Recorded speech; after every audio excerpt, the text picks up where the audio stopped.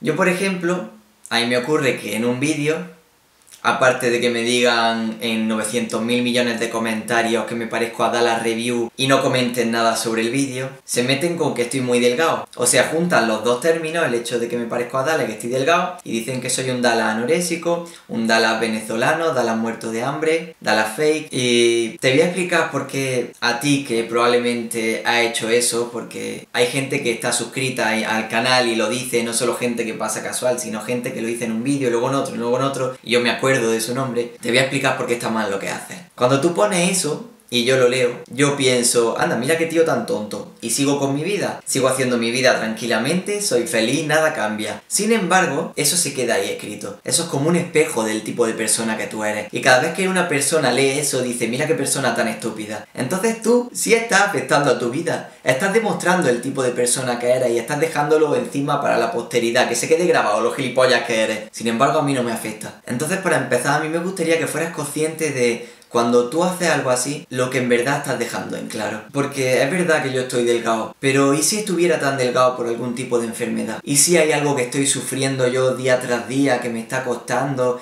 y luego tú encima te ríes de mí. Si la respuesta a esto que acabo de decir es me da igual, eso también define el tipo de persona que eres. Yo no tomo drogas, ni fumo, ni nada de esas cosas que te haga estar así de delgado, pero si se diera el caso de que yo estuviera así de delgado por esa razón, también el hecho de estar enganchado a una y tener ese problema no creo que sea algo con lo que uno deba reírse. Y por supuesto no creo que uno deba reírse diciendo que eres de Venezuela con todo lo que está pasando en Venezuela. Soy perfectamente consciente de que esto que estoy diciendo no va a cambiar nada. Que la gente, quien es maleducado, es maleducado y va a seguir siéndolo así, pues probablemente toda su vida. Porque gente mala y buena hay siempre en el mundo. Pero igual que tú estás definiendo el tipo de persona que eres hablándome así en los comentarios, yo ahora estoy definiendo el tipo de persona que soy. Y yo soy una persona que nunca se va a callar cuando vea una injusticia. Que cuando vea una crítica hacia alguien por su físico, de alguien que es egoísta, que no tiene en cuenta por lo que pueda estar pasando por esa persona, yo lo voy a decir. Día tras día con nuestras pequeñas decisiones, dejamos en claro el tipo de persona que somos. Si tú quieres seguir siendo ese tipo de persona, sigue comentándomelo. Que yo seguiré ignorando, borrando o bloqueando tu comentario. Y no me enfadaré, no me sentiré mal porque me da igual yo sé por qué estoy así de delgado y soy el único al que le importa, no me hace daño. Lo único que me da un poco de pena así es ver cómo de mal está el mundo para que haya gente así. Porque a mí me da igual, pero hay personas que no les da igual y cuando les critica su físico se sienten mal y hay personas que llegan a suicidarse. Muchas de hecho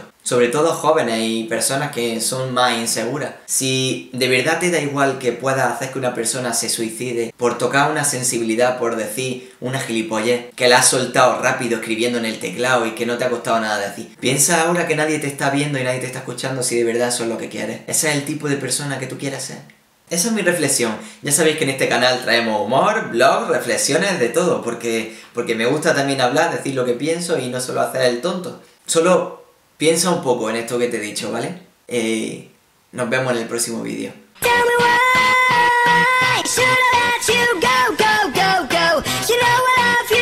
so, so, so. That's why I'm here tonight. So put your hands up.